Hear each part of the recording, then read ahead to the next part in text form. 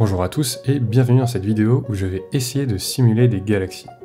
Une galaxie c'est un amas d'étoiles, de gaz et de poussière liés entre eux par la gravité. Pour ma simulation, je vais ignorer les deux derniers et me concentrer uniquement sur les étoiles, mais ça pourrait être une piste d'amélioration pour de futures vidéos. Tout d'abord, pour générer une galaxie, je place un certain nombre de points à des positions aléatoires dans une sphère, puis je l'écrase pour faire une sorte de disque d'une certaine épaisseur. Ici, chaque point représente une étoile.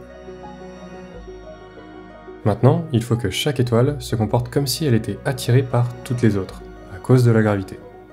Pour ça, je vais utiliser la mécanique newtonienne. Alors, je sais qu'on a trouvé de meilleures théories depuis, comme la relativité générale d'Einstein par exemple, mais pour ce que je veux faire, Newton suffira largement. D'après cette théorie, chaque objet génère une force qui attire tous les autres vers lui. Elle est définie par cette formule. Ici, G est une constante, M1 est la masse de l'objet qui produit la force, M2 c'est la masse de l'objet qui la subit, et enfin D c'est la distance entre les deux objets. On peut voir que plus les objets sont massifs, plus ils vont s'attirer, et à l'inverse, plus ils sont éloignés, moins ils vont s'attirer. À partir de cette force, on peut alors calculer l'accélération d'un objet en utilisant cette formule. Elle nous dit que son accélération est égal aux forces qu'il subit divisé par sa masse. Ce que ça montre, c'est que plus un objet est massif, plus il faudra une grande force pour réussir à l'accélérer. Par exemple, pousser une voiture, c'est plus dur que pousser un vélo. Après simplification, on peut voir que la masse de l'objet qui subit la force n'entre plus en compte. Ce que ça veut dire, c'est que son accélération ne dépend plus de sa masse. C'est pour ça que sur Terre, par exemple, tout tombe à la même vitesse, quelle que soit sa masse, si on oublie les frottements de l'air bien sûr. Pour simplifier encore plus, on va fixer g et la masse de toutes les étoiles à 1.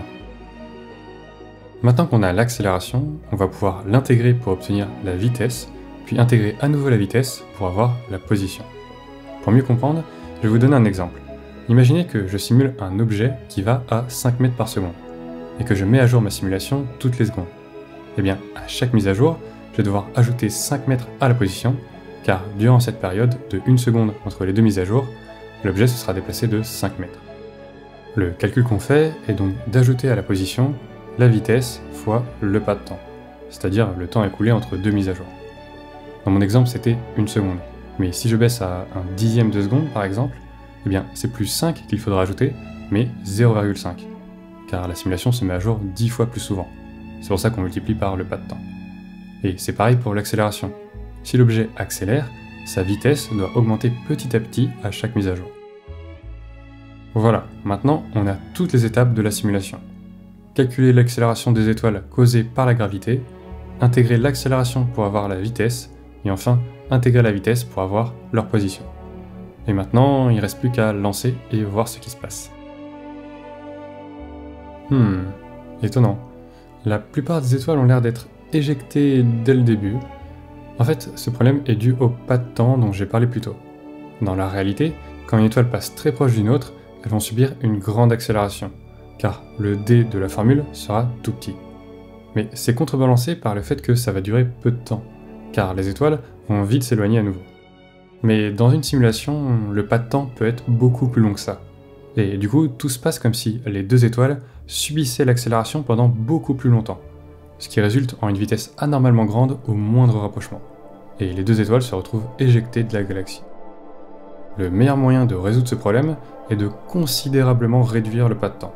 Mais je n'ai pas la puissance de calcul nécessaire pour faire ça. Je vais donc partir sur une autre méthode, limiter artificiellement l'accélération. Pour ça, on peut ajouter un petit nombre à la distance au carré pour aplatir la courbe. Et voilà, maintenant, plus d'étoiles qui partent dans tous les sens. Mais il reste quand même un problème. En fait, j'aimerais bien avoir plus d'étoiles. Beaucoup plus d'étoiles. Et pour ça, il va falloir trouver un moyen d'optimiser mon code.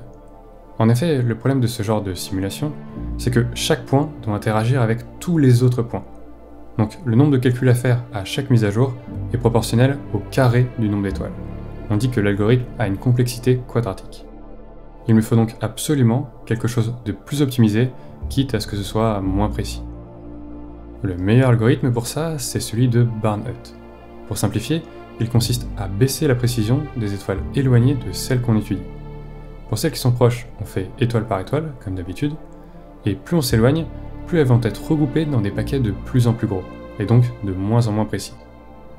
Cette méthode fonctionne plutôt bien, mais dans cette vidéo, je vais plutôt partir dans une autre direction, la programmation sur carte graphique.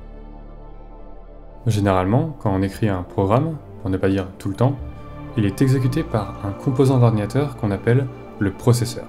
C'est cette petite plaque ici. La carte graphique par contre, c'est un poil plus gros. Elle s'occupe notamment de tout ce qui est affichage sur votre écran. Et en plus de leur prix tout à fait raisonnable, elles ont l'avantage d'être extrêmement rapides. Pour l'utiliser, on écrit des petits programmes qui vont être exécutés sur la carte graphique. On appelle ça des shaders. Oui, oui, ce sont bien les mêmes shaders que ce que vous pensez. En revanche, en contrepartie de leur grande vitesse, leurs actions sont assez limitées. Et les shaders sont généralement des programmes assez simples. Et oui, hein, normalement c'est pour afficher les trucs à l'écran, hein, pas faire des simulations. Donc pour l'instant, je ne vois pas trop comment implémenter Barnhut dessus. Mais ça pourrait faire l'objet d'une prochaine vidéo. A la place, j'ai juste fait en sorte que chaque étoile n'interagisse uniquement qu'avec un pourcentage des autres étoiles. C'est moins bien, mais ça fera l'affaire. Je peux donc enfin mettre plus d'étoiles, et voilà ce que ça donne avec un milieu.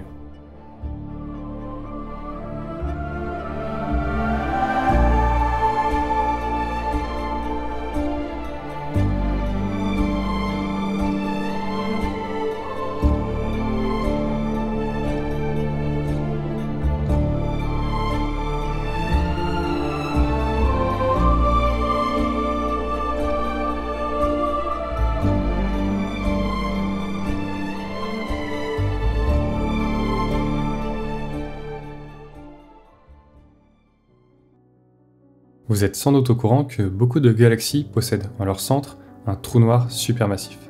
Par exemple, celui de notre galaxie s'appelle Sagittarius A étoile, et sa masse est estimée à plus de 4 millions de fois celle du Soleil.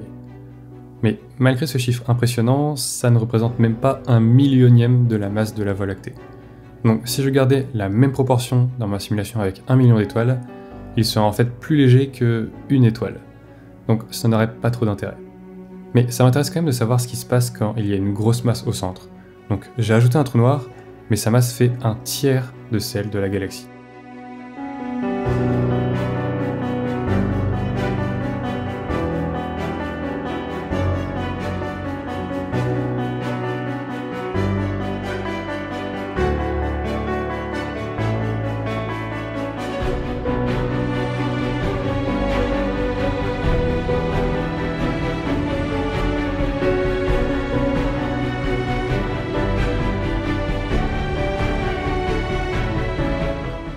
Vous avez réussi à voir la différence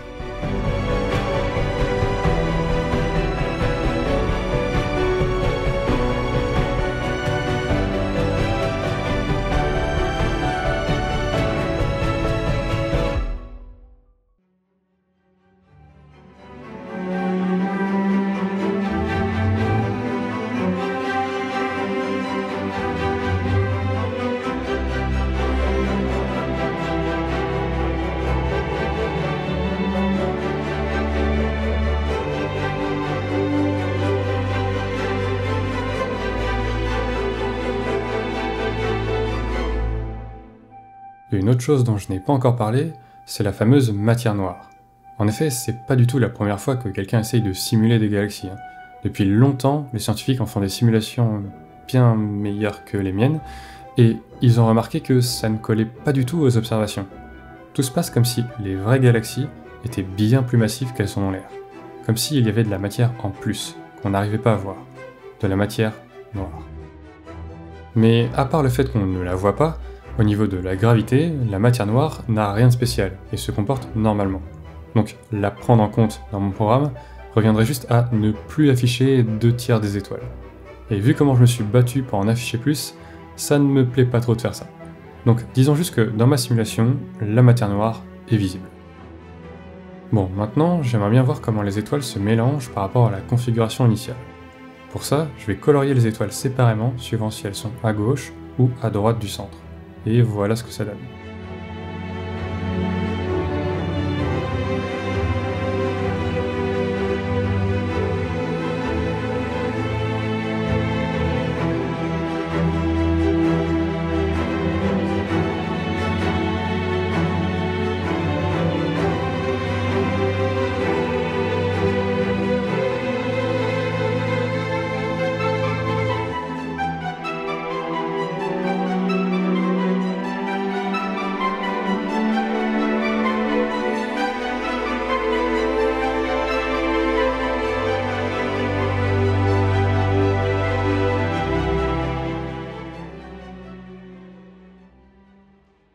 Des étoiles qui se mélangent au sein d'une galaxie, c'est bien, mais plusieurs galaxies, c'est mieux. Pour ça, je vais décaler une étoile sur deux soit à gauche, soit à droite. Et celle de droite, je vais aussi les tourner dans l'espace pour que les deux galaxies ne soient pas parfaitement alignées.